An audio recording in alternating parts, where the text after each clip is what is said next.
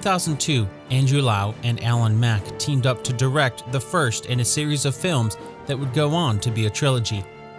Conveniently named Infernal Affairs, Infernal Affairs 2, and Infernal Affairs 3, Alan actually co wrote the trilogy along with Felix Chong. Now, looking at the geographical stats for this podcast, since most listeners aren't in China, I'm going to go out on a limb here and guess that you're not in China as you're listening to this. So I'll jump to the conclusion and guess again that you probably haven't seen 2002's Infernal Affairs or any of its sequels. What you might have seen, though, was when Martin Scorsese won his first, and at least as of this recording, only Oscar when he remade Infernal Affairs with the 2006 film The Departed. Well, it's not like he was the only one who remade it. Actually, a lot of the credit can go to William Monahan, who also won an Oscar for Best Writing Adapted Screenplay when he adapted the Infernal Affairs film into the screenplay for The Departed. While many people considered Martin Scorsese's Oscar win a long overdue award for a career of hits, the same isn't quite true for Monahan. In fact, quite the opposite. You see, The Departed earned William an Academy Award as just the second feature film he'd write. And it's Williams' very first movie that we're going to be looking at today. In 2005, Kingdom of Heaven was written by William Monahan and directed by another amazing director, Ridley Scott. Interestingly, a director that's, despite being nominated for four Oscars, again, as of this recording, has yet to win. Now, if you're listening to this on the day it's released, then today marks the anniversary of the Crusades. Well, the first one at least. You see, it was on November 27th in the year 1095 when Pope Urban II preached about the Crusades, kicking off the Crusades that would last almost 200 years until 1291.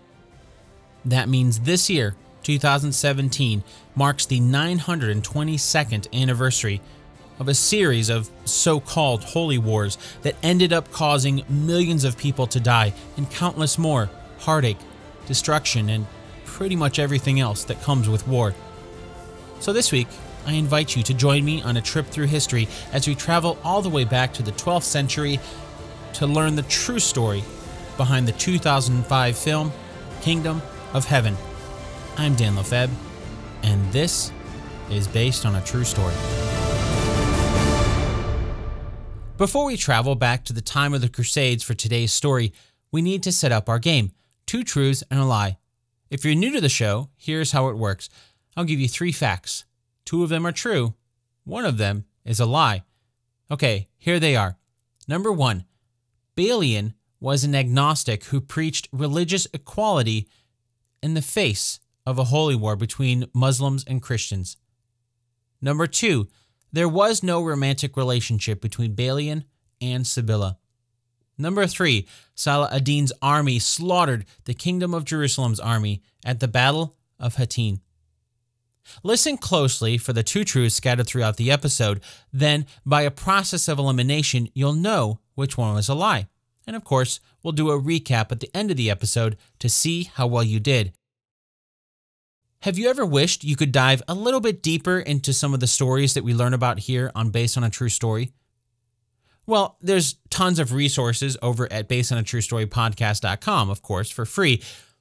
But if you become an official producer of the show, you'll get exclusive access to bonus episodes. They typically come out about once a month and are some of the articles and historical documents that I come across while researching episodes.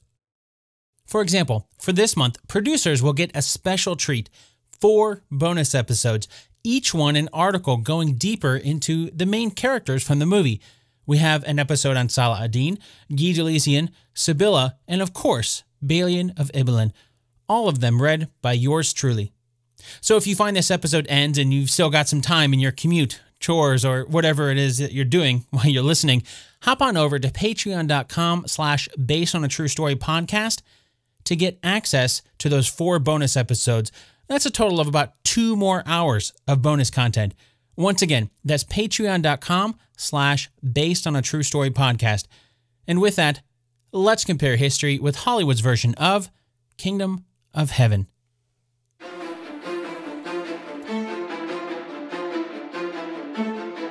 The movie begins with some text on the screen to explain the situation. We're in France in the year 1184. According to the movie, it's been almost a century since Christians have seized control of Jerusalem. While Europe is gripped by poverty, both rich and poor are enchanted by the thought of the Holy Land to find fortune. Finally, the film mentions one knight who's returning home to find his son. We find out in the next scene that one knight is Godfrey de Ibelin, who's played by Liam Neeson in the film. Let's start by laying down a blanket statement for this entire episode. As is often the case with history, the further you go back, the murkier the waters get. Basically, there's a lot we don't know about the true story of the character Orlando Bloom plays in the movie, Balian. But as far as we know, Godfrey de Ibelin is completely fictional and a character made up for the movie. Balian's real father was called Balian, or as most historians refer to him, Balian the Elder. Although it's worth pointing out that some historians refer to him as Barisan, that's B A R I S A N, instead of Balian, B A L I A N.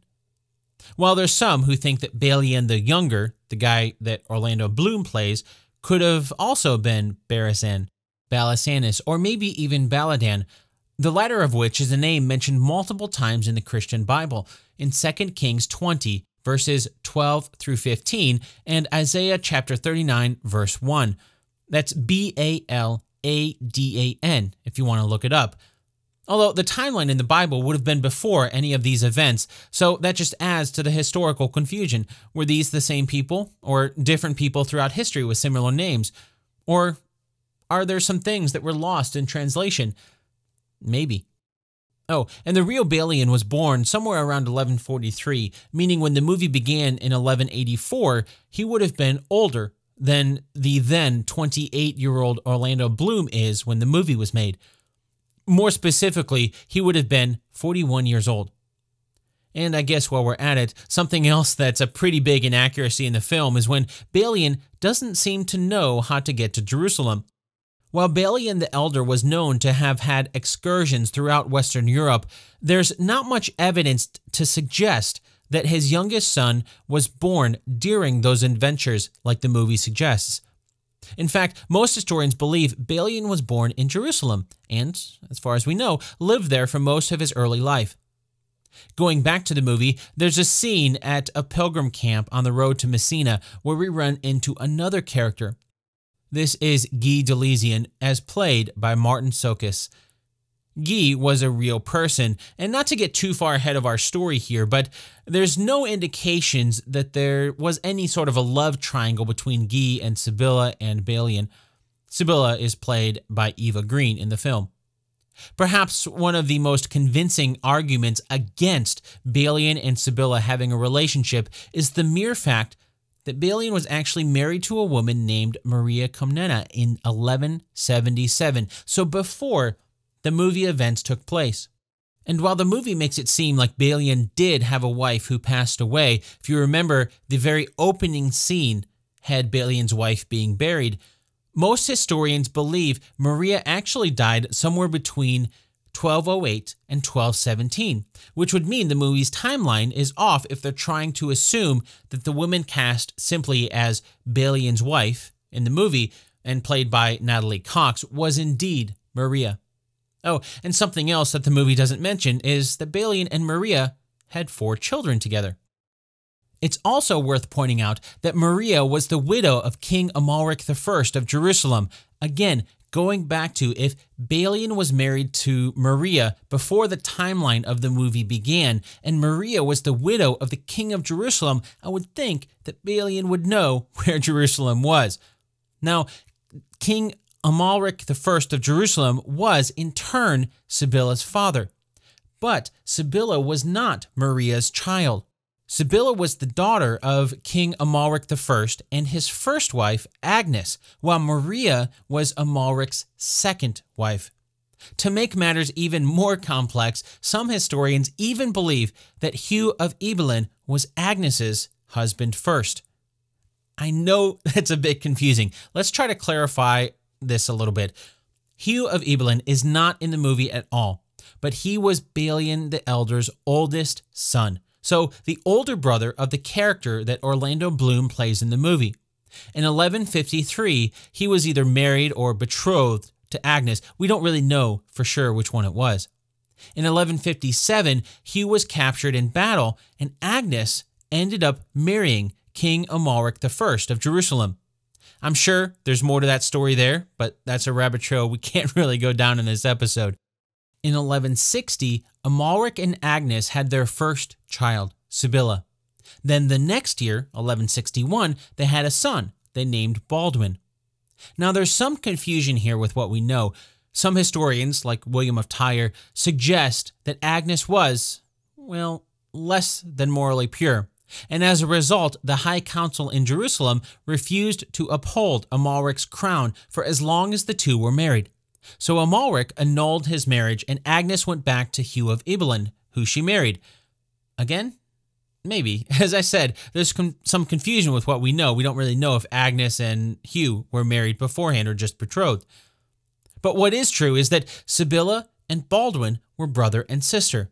Now, Baldwin was the leper king of Jerusalem, played by Edward Norton in the movie. In 1167, then, Amalric married Maria Comnena.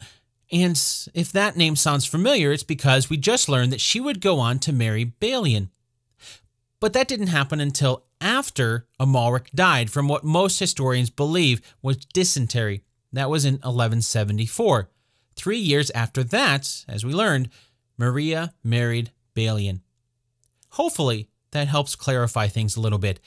If nothing else, it shows that even though the movie makes it seem like Eva Green's version of Sibylla and Orlando Bloom's version of Balian didn't know much about each other before they met, the truth is that the two families had quite an intertwined relationship, to say the least. Back in the movie, we see Liam Neeson's character, Godfrey, get injured by an arrow. As a result of the injury, he develops a fever and his health declines quickly. Before he passes away, though, we see him pass off his titles and lands to Balian. We already learned Godfrey was fictional, so it's probably not much of a surprise that this premise is fictional as well. In truth, Balian the Younger was, well, the youngest son of Balian the Elder. We already heard a bit about his oldest brother Hugh, but he also had an older brother named Baldwin, not to be confused with the Leper King Baldwin played by Edward Norton in the movie. Hugh died in 1169, which would have passed the lordship of Ibelin to Baldwin, except he didn't want it because he was already happy with a lordship at a place called Ramla. So he gave the Ibelin lordship to his younger brother, and that's how Balian became Balian of Ibelin, or Balian, the Lord of Ibelin. Oh, and by the way, I know I mentioned earlier that his name might not have been Balian. It might have been Barisan or something like that. I'm using Balian throughout this episode because that's what they used in the movie. We also have some ancient Arabic sources that mention Balian as being, quote, like a king, end quote, which suggests that even though Balian didn't get the lordship of Ibelin right after his father's death, like the movie shows, that didn't stop him from making a name for himself. With all of this talk of various marriages, I'm sure you're wondering, what about the marriage we saw in the movie between Guy de Lusignan and Sibylla? Was that real? Yes, but there's more to the story that the movie doesn't mention. Remember Sibylla's mom, Agnes? Well, some historians believe that Agnes was sleeping with a man named Amory. Amory, which is spelled A I M E R Y, invited his younger brother to come to Jerusalem who accepted the invitation and arrived somewhere around 1180. His younger brother's name? Guy de Lusignan. Although the movie mentions that Sibylla was betrothed to Guy at the age of 15 at the behest of her mother, history doesn't really seem to agree with that synopsis. We don't know a lot of the reasonings that went into the facts, but some suggest that Guy was a surprise husband to Sibylla when, in 1180, the two were married. If you recall, that's the same year Guy arrived in Jerusalem, Apparently, he didn't waste much time. The reason why Guy didn't waste much time is something that the movie indicates by showing the leprous king. That's true, and so it would seem that when Guy arrived in Jerusalem, he saw the sickly king and took advantage of the opportunity. Back in the movie, one of the main rivals to the Christians in Jerusalem is the Saracen leader, Salah ad-Din. The movie doesn't really talk much about Salah ad-Din's backstory since it focuses more on the Christian side of the story, but Salah ad-Din was indeed a real person. In fact, thanks to a biography written by a scholar named Ibn Shaddad, Salah ad-Din is one of the characters in the movie that we know the most about. Ibn Shaddad wrote his biography during Salah ad-Din's lifetime, and it would seem the two were friends. Now, if you're a patron of the show, you'll get a special bonus episode to learn more about Salah ad-Din. But Salah ad-Din was born in the small town of Tikrit in Mesopotamia. Well, I say small town. Today, Tikrit, which is located in modern day Iraq, has about 160,000 people in it. Of course, we don't really know the exact population back in 1138 when Salah ad-Din was born. Oh, and his real name was Yusuf. Salah ad-Din was an honorary name referred to in Arabic as a laqab that means righteousness of the faith. Although being born in Mesopotamia, it seemed that Salah ad-Din made his way to Damascus because that's where his education really grew. From what we can gather, it sounded like Salah ad-Din was a really smart guy who studied arithmetic, law, religion before his military career began. In the movie, there's a moment where Edward Norton's version of King Baldwin mentions defeating Salah ad-Din at the age of 16. While the film never comes out and says it, the implication that I got from that memory was that they're trying to say the leper king, Baldwin, defeated Salah ad-Din and drove the Muslims out of Jerusalem. In fact, the King Baldwin that Edward Norton portrays in the film was Baldwin IV. He reigned from 1174 to 1185. Something else the movie doesn't really mention that's important to understand is that Jerusalem was an entire kingdom and not just a city like it is now. While the borders of that kingdom shifted around quite a bit, when it was at its largest, the kingdom of Jerusalem contained most of modern day Israel, Palestine, and some land in modern day Libya, Syria, and Jordan. As Baldwin IV's name implies, he was not the first king of the kingdom of Jerusalem. That would be King Baldwin I, who set up the kingdom of Jerusalem after the First Crusade captured the lands at the request of Pope Urban II in the year 1095. Well, that's when the First Crusade began. It ended in 1099 when, on July 15th, 1099, the Templars captured Jerusalem. Then in 1100, King Baldwin I's reign began. So that's 84 or 85 years before the events in the movie. In that time, the kingdom of Jerusalem had five different kings until in 1174, Baldwin IV became the sixth king of the young kingdom. While the movie makes it seem like it was right after Baldwin IV died when Lusignan took the crown, that's not really true. King Baldwin IV did die from his leprosy, though. That was in the spring of 1185 and it ended his reign. Some historians believe that before passing, Baldwin IV made sure that the crown would pass to his nephew and Sibylla's son, who became King Baldwin V. That was in an attempt to keep the throne from Guy de Lusignan. That was a short lived reign, though, and the following year, King Baldwin V died. He was only nine years old.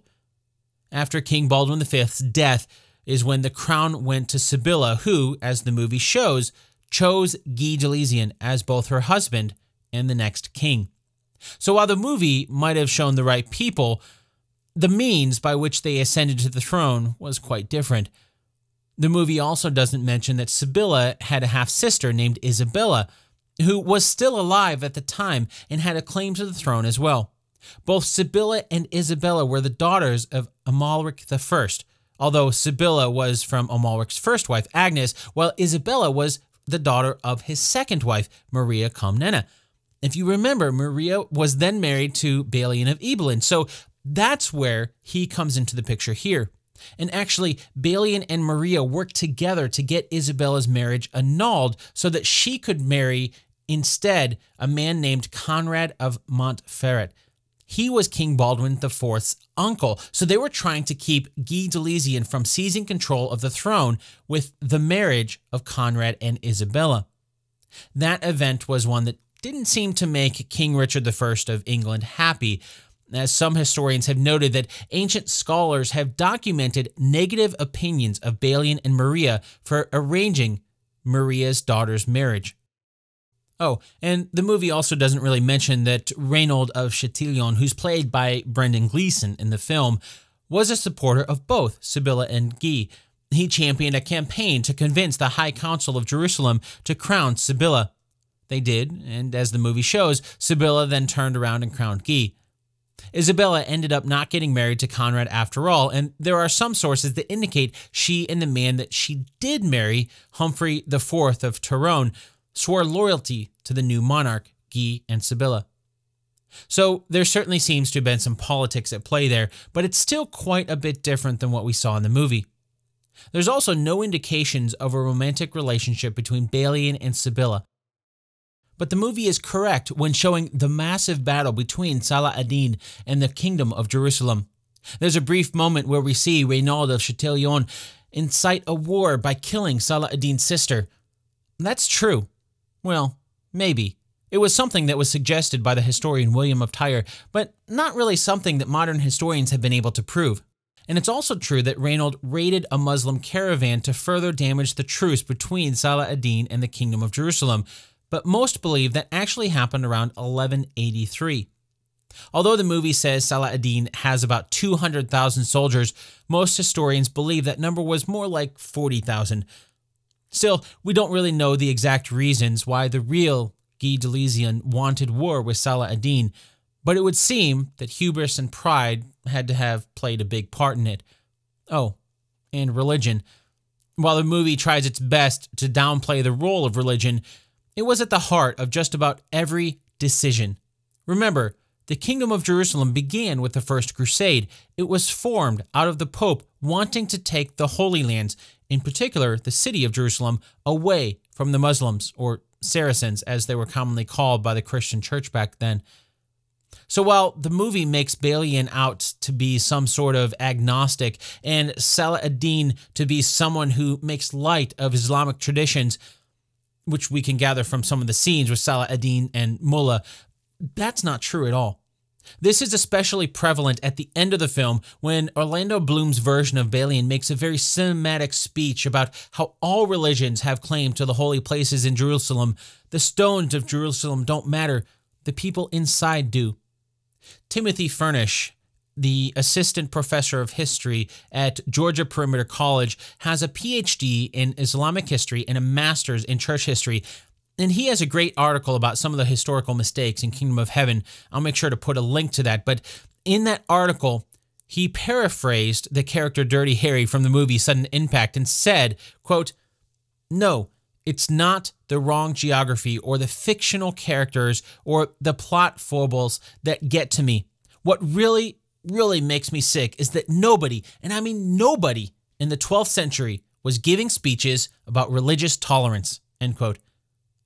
The geography Timothy mentions has to do with the mountainous terrain we see in the film. You see, the movie was actually shot in Morocco, so the landscapes we see in the movie aren't anything like what you would see in Jerusalem. I'd encourage you to check out Timothy's article. I'll make sure to put a link to it in the show notes over at basedonatruestorypodcast.com. Even though there was plenty of creative freedom in the movie, the big battle at the end did happen. The film doesn't really show much of the battle when the now King Guy leads his troops to meet Salah ad-Din on the battlefield, but we see that it was a slaughter. And it was, but perhaps it wasn't such a sure thing as the movie implies. As we learned earlier, the 200,000 troops for Salah ad-Din that the movie claims he had was inflated quite a bit. That battle is called the Battle of Hattin because of its location near the town of Hattin, that's H A T T I N, and the Horns of Hattin, a notable double hill geographic landmark. As far as we can tell, King Guy's troops consisted of about 20,000 men, while Salah ad-Din had about 30,000 at that time for the battle. Salah ad-Din lost hardly any, while the Kingdom of Jerusalem's army was completely wiped out. Oh, and Guy was actually captured like we saw in the movie. But he was released a few months later and would end up living until 1194. The movie also doesn't mention that Balian was there at the Battle of Hattin. He was one of the commanders, but he managed to survive and return to Jerusalem. While the specifics of the movie are mostly fictionalized, in the big final battle, the basic gist is pretty accurate. We likely wouldn't know as much about Balian as we do today if he hadn't led such a masterful defense of the city of Jerusalem after it was besieged by Salah ad-Din's forces. But he did, as the movie shows, end up surrendering the city. But the movie was sped up quite a bit. You see, the Battle of Hattin happened in July of 1187, while the siege of Jerusalem took place from September 20th to October 2nd of the same year. Oh, and the terms didn't seem to be as favorable as the movie shows. The people of Jerusalem were given a choice either pay a ransom for your freedom, or if you couldn't pay within 50 days, you'd be forced into slavery. At the very end of the movie, we see Balian and Sibylla run away together. While they're back in France, the scene of Balian's blacksmithing at the beginning of the movie, we see the King of England arrive looking for him. They're heading off to start another crusade to reclaim Jerusalem. Well, we already learned there wasn't a romantic relationship between Balian and Sibylla. Instead, Balian left the city about a month after the surrender, around November 20th, and went to Tripoli where his wife and children were. The mention of another crusade was correct, though. We've all seen the story of Robin Hood and how he was fighting against the evil Prince John, who was trying to take the throne in the absence of Richard the Lionheart. Well, this is the other side of that tale. In 1191, King Richard of England arrived at the coastal city of Acre in modern day Israel. For two years, he fought to recapture lands in the name of the Christian church. He never made it to Jerusalem, though. Falling ill to scurvy and realizing that John was taking advantage of his absence in England, King Richard made peace with Salah ad-Din on September 2nd, 1192. It was a three year truce that let Christians access Jerusalem. King Richard returned to England on October 9th, and only a few months later, on March 4th, 1193, Salah ad-Din passed away after taking ill with fever. Despite being a great military leader and ruler, Salah ad-Din didn't keep any of the wealth he amassed for himself. Instead, he gave it away to the poor in his kingdom. According to the scholar Ibn Shaddad, when Salah ad-Din died, the total amount of his riches equated to one piece of gold and 40 pieces of silver.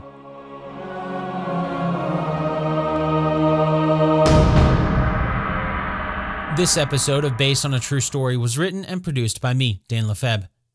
There's so many great sources about the Crusades, but if you want to learn more about some of the characters we talked about in this episode, I'd recommend starting with Ibn Shaddad's biography of Salah ad-Din. Then there's the book, The Leper King and His Heirs by Bernard Hamilton, or the article that I mentioned in the episode by Timothy Furnish.